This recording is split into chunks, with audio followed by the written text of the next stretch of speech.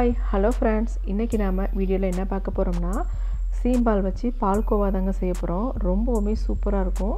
நம்ம வந்து வீட்டில் செஞ்சது மாதிரியே இருக்காது. கடையிலேருந்து வாங்கி பால்கோவா சாப்பிட்டா எப்படி இருக்கும்? அதே டேஸ்ட்டில் இருக்கும். சூப்பராக இருக்கும். வாங்க எப்படி செய்கிறதுன்னு பார்க்கலாம்.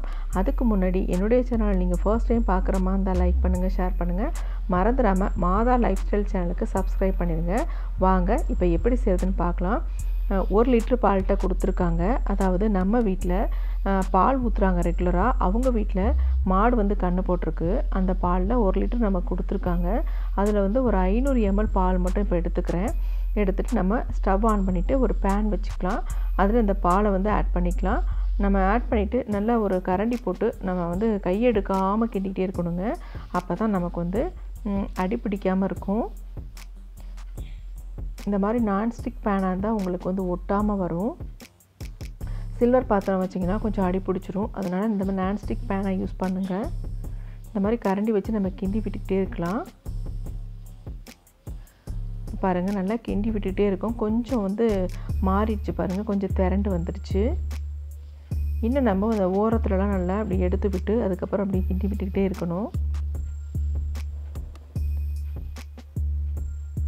லோ ஃப்ளேம்லேயே வச்சுக்கோங்க. ஹை ஃப்ளேமில் வச்சிடாமல் கிண்டி விட்டுக்கிட்டே இருக்கணும்.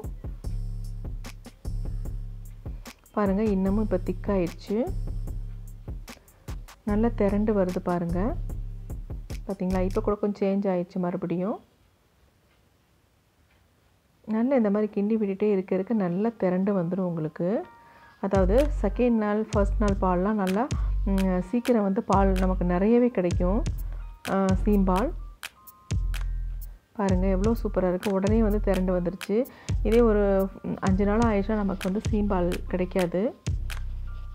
ரொம்ப நேரம் நம்ம ஸ்டவ்வில் வச்சு அப்படி கிண்டி விட்டுட்டே இருக்கணும். அந்த மாதிரி இருக்கும். இதை வந்து நம்ம டக்குன்னு வச்ச உடனே கொஞ்ச நேரத்தில் நமக்கு நல்லா திரண்டு வந்துடும் நிறைய சீம்பாலும் நமக்கு கிடைக்கும்.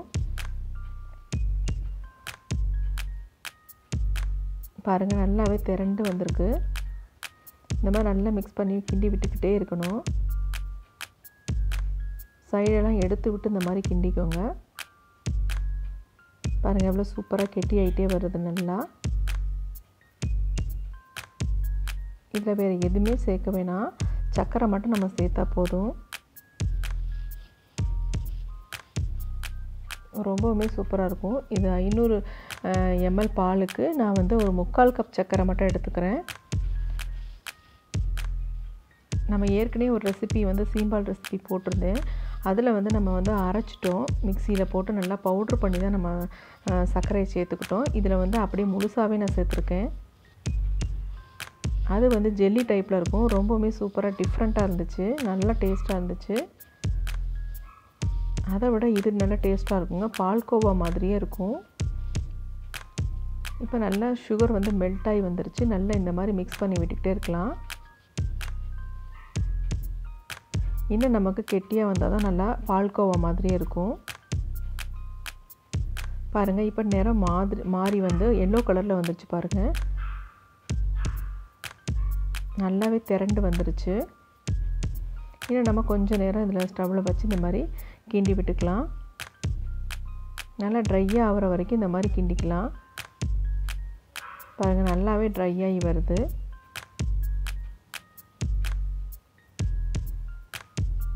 இந்த ஸ்டேஜில் நம்ம இது என்ன சொல்கிறது ஏலக்காய் ஒரு நாலஞ்சு ஏலக்காய் எடுத்து நல்லா பொடி பண்ணி இந்த மாதிரி சேர்த்துக்கலாம். ஏலக்காய் சேர்த்திங்கன்னா எந்த கவிச்ச ஸ்மெல்லும் இருக்காது. நல்லா டிஃப்ரெண்ட்டாக ஒரு ஃப்ளேவரோடு இருக்கும். நல்லாயிருக்கும்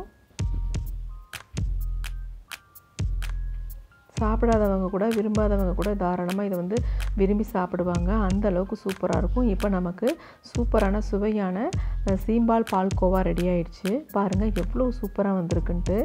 கண்டிப்பாக நீங்களும் சீம்பால் கிடச்சா வாங்கி ட்ரை பண்ணுங்கள் வேணான்னு சொல்லிடாதீங்க. இதில் நிறைய சத்துக்கள்லாம் இருக்குது குழந்தைங்களுக்கு தான் ரொம்பவுமே நல்லது. கண்டிப்பாக நீங்களும் ட்ரை பண்ணி பாருங்கள் இந்த வீடியோ உங்களுக்கு பிடிச்சிருந்தால் லைக் பண்ணுங்கள் ஷேர் பண்ணுங்கள் மறந்துடாமல் மாதா லைஃப் ஸ்டைல் சேனலுக்கு சப்ஸ்கிரைப் பண்ணிடுங்க. Okay friends thank you